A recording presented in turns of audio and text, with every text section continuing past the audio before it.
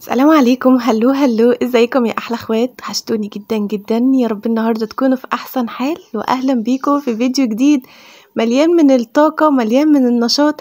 مع سيدة عندها بنتين توينز ربنا يحميهم ويحفظهم وإزاي قدرت إن هي تسيطر عليهم في كمان ظروف إن هي تنقل لبيت جديد.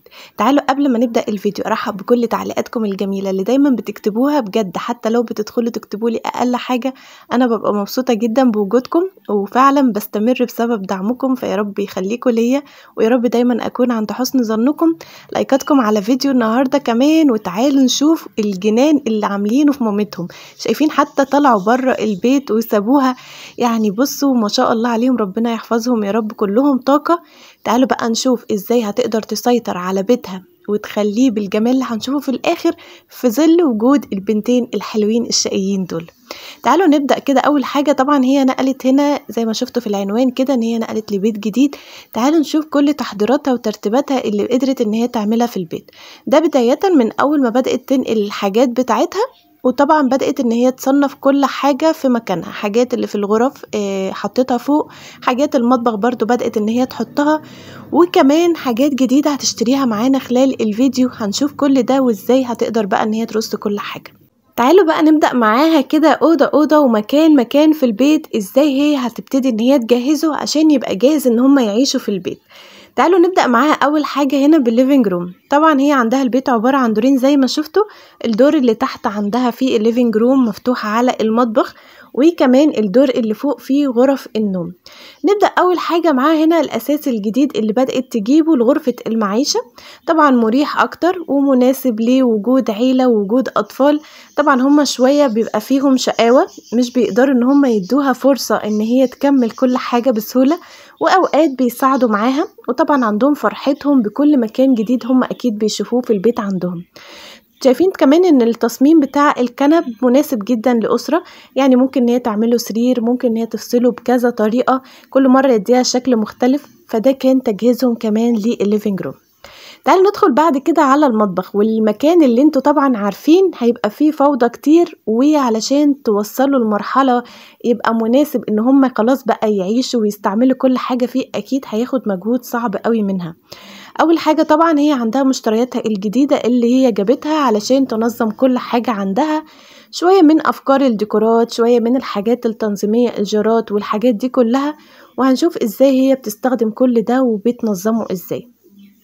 عندها هنا المكان اللي هي الحاجات اللي جنب البوتاجاز بدأت تحط فيها شوية من الورد مع كمان الملح والفلفل طقم التوزيع بتاع المعالق كمان السكاكين حطت الحاجات دي كلها قريبة من البوتاجاز رصت الأطباق والكوبايات بتاعتها وكمان هنا المشايات بتاعة الأرض وشوية من الديكورات زي الطابلوهات والورد فده كان شكل المطبخ النهائي. لكن كمان مع الوقت أكيد هتكتشف إن في حاجات ناقصاها وفي حاجات محتاجة إن هي تنظمها بشكل أسرع وشكل يكون أحسن.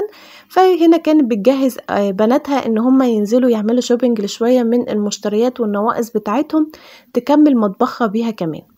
هنا الحاجات اللي هي اشتريتها تعالوا بقى نشوف مع بعض إزاي هي هتوظفها وتستخدمها في البيت شايفين بقى إن هي كلها حاجات خاصة بالمطبخ زي ما قلت لكم وشايفين إن المطبخ في الخلفية وراها خلاص هي جهزته زي ما شفناه. فدي الحاجات اللي كانت ناقصة اللي بدأت إن هي تجيبها عشان تكملها بيه. كمان هنا اهتمت كمان بالكلب بتاعها إن هي تخصص له مكان ليه للأكل والشرب بتاعه.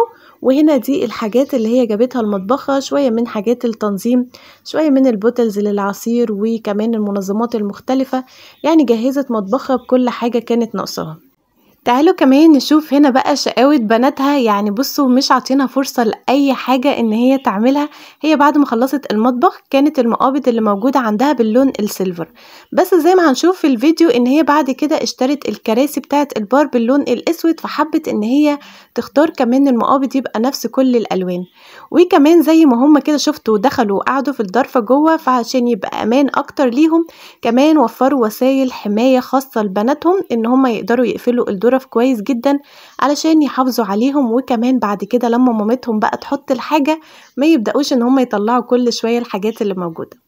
ده كده كان مطبخها خلاص خلصناه هندخل بعد كده هنا عندها ده الحمام الخاص بغرفة البنات. هنشوف تجهيزاتها للأوضة كمان بس تعالوا شوفوا هنا بقى بدأت إن هي تحط شوية من الكماليات الحلوة كده. يعني بدأت إن هي تحط لهم حاجات آه للعب عند البانيو. هما كمان بيحبوا الديناصورات جدا فبدأت إن هي تجيب لهم كل حاجة على شكل ال dino كده. ستارة وكمان المنظمات وكمان ألوان الفوط والمشايات يعني كلها نفس ال style. هسيبكم كده تشوفوا فرحتهم بالحمام بتاعهم والصوت بتاعهم أول ما شافوا الحمام وأرجع لكم تاني Whoa. What are these? Dinosaurs. Yeah. Red. Whoa. ما شاء الله عليهم ربنا يحفظهم يا رب. حبيت إن أنا أسيب لكم صوتهم وهم أول ما شافوا كده الحاجات الجميلة بتاعتهم وفرحوا بيها. تعالوا كمان نشوف هنا إزاي هي جهزت الغرفة الخاصة بيهم. هم كمان زي ما بيحبوا الديناصورات اللي عملتها لهم في الحمام كمان بيحبوا شخصية الاستروبري اللي هي شخصية العروسة الجميلة دي. فحبت كمان إن هي تعمل لهم كل style الغرفة بنفس الشخصية دي سواء الملايات بتاعه السرير الطابلوهات على الحيطة. هنشوف كمان المشايات يعني كل حاجة عملتها بنفس ال style اللي هم بيحبوه. ده هنا منظمات الألعاب الحلوة وكمان شوفوا وسائل الحماية اللي بدأت تحطها في الزوايا بتاعة المكتبة علشان ما يتخبطوش فيها ويبقى عندهم إصابات. شوفوا بقى تجهيزها لكل حاجة الديكورات زي ما قلت لكم كمان يعني كل الألوان الحلوة اللي بدأت إن هي تعملها لهم في الغرفة علشان لما يدخلوا يبقوا مبسوطين بكل الحاجات الجميلة اللي موجودة في غرفتهم. وكمان هنا على الحيطة كمان بدأت إن هي تحط لهم أشكال الفراولة كده الجميلة.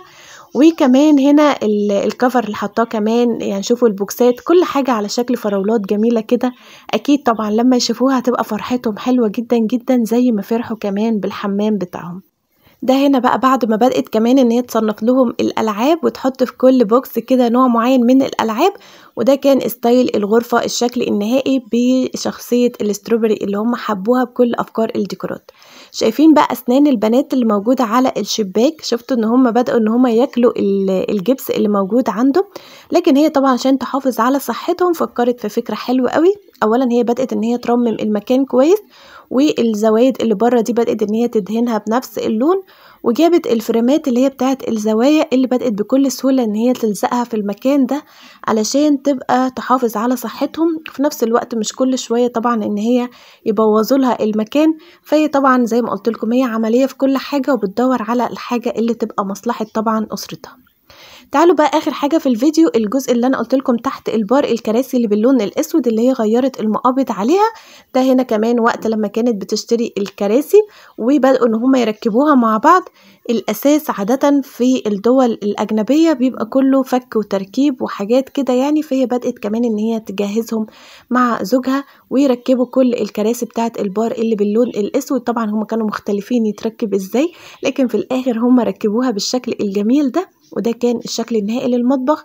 والشكل النهائي كمان للبيت كله. يا رب يسعدهم ببيتهم الجديد ويحافظ على بناتهم ويسعدكم أنتوا كمان تجيبوا كل حاجة بتتمنوها ونفسكم فيها ويرزقكم دايما السعادة وراحة البال أحلى أخوات في الدنيا.